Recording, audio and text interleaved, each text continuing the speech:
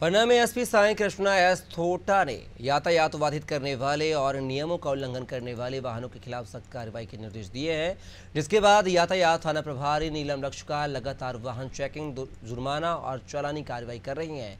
इसी क्रम में आज बिना नंबर के अवैध रेत से भरे ओवरलोड नॉट ट्रैक्टर ट्रॉलियों को पकड़ा गया है।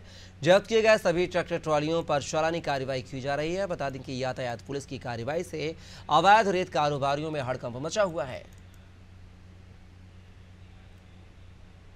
सकते हैं और आने जाने वाले बच्चों को, विद्यार्थी बस वगैरह, इनको भी इसमें समस्या होती है। इसके अलावा, ये दुर्घटना होने की जो संभावना इनसे बनी रहती है, अमूमन देखा गया है कि इनमें नंबर नहीं अंकित हैं।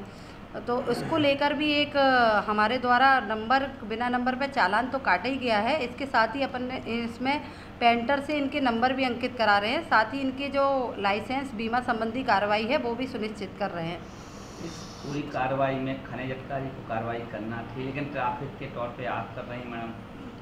देखिए, मैं, मेरा जो काम है, मैं एम एक्ट के तहत कार्रवाई कर रही हूँ। इसके अलावा भी वरिष्ठ अधिकारियों के निर्देशानुसार इसमें खनिज अधिकारी को भी सूचित किया जा रहा है और निश्चित तौर पे उसमें भी उनके द्वारा और हमारे द्वारा तो एम एक्ट की लगातार कार्रवाई की जाएगी।